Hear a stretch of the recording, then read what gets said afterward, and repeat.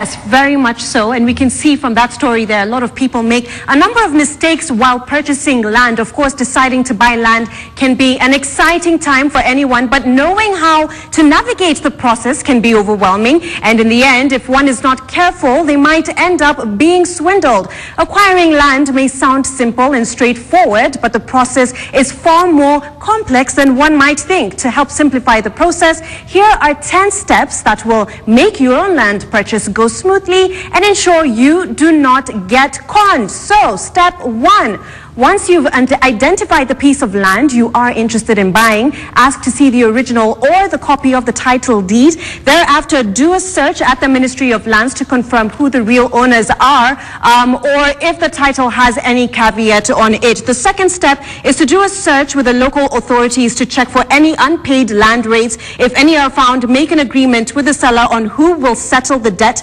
Remember that land cannot be transferred if there are unpaid land rates. Now, the third step is to buy two maps from the Ministry of Lands, one showing the exact measurements of the land you're buying and the other showing neighboring lands. Each costs about 350 shillings. The next step would then be to physically visit the site together with the maps and verify the details on the map.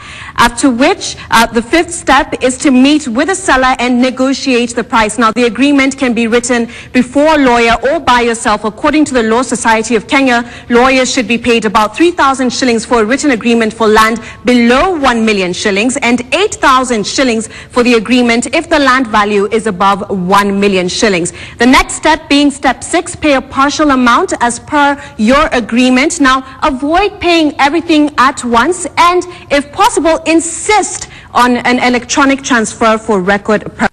Uh, now, step seven is then to book a meeting with the Lands Control Board. The board meets once a month at a cost of 1,000 shillings. There is, however, a special meeting at the cost of 5,000 shillings. The board will then issue consent for the land to be sold.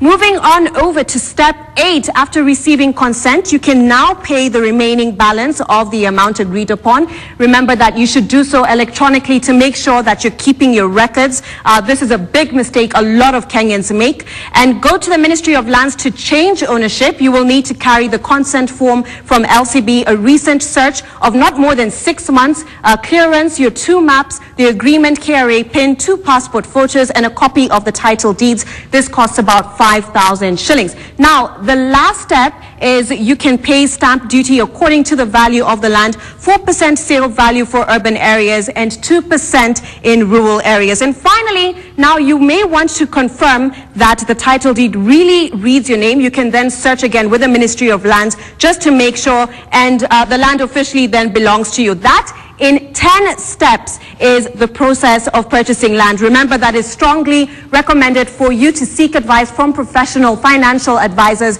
as well as legal counsel to take you through uh, each step as you go along.